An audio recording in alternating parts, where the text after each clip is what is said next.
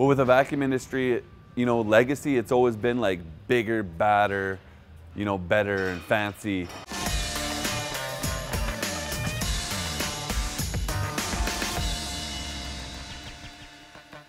that was the model, you know, from the 90s, you know, going into the early 2000s. It was about how big you could have your truck, what you could have on it, all the bells and whistles. That has really changed lately to go with, you know, really getting the units down to bare bones, you know, still having that great, sleek, you know, fancy look, but being uh, really effective in the workplace, right? So working with your airflow on the vacuum side, working with the road legal weights, you know, having a compliant unit that is not only compliant for TDG standards, but also the non-code world where you're looking at really having the most capacity for debris, you know, road legal down the road. I can't beat that up enough. And uh, the guys are just passionate about, you know, units not breaking down, your quality of your, your craft and, and your, the guys you have building the units, right from the welders to the millwrights to the mechanics to the electricians, you know, to your QC.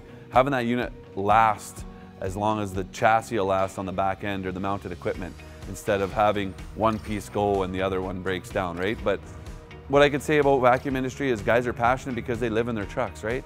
These guys are in their trucks all the time. They're proud of their units when they're running them. They take the time to clean them. They take the time to really make sure they're shining when they go down the road. So anything we can do to kind of separate ourselves and have the CV brand so that when you see a vacuum unit, because a lot of them look the same, that you know that that unit was built at CV, right? Or, you know, when, when five years down the road, the truck's only been back in the shop a couple times, th those are the key things, right?